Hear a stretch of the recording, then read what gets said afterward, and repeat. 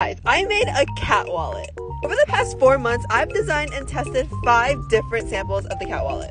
My favorite part are definitely these paws. Something I wish my current wallet had was a coin pouch, so I made sure that this one had one. And I'm happy to announce that pre-orders open this Saturday at 7 p.m. EST. So excited.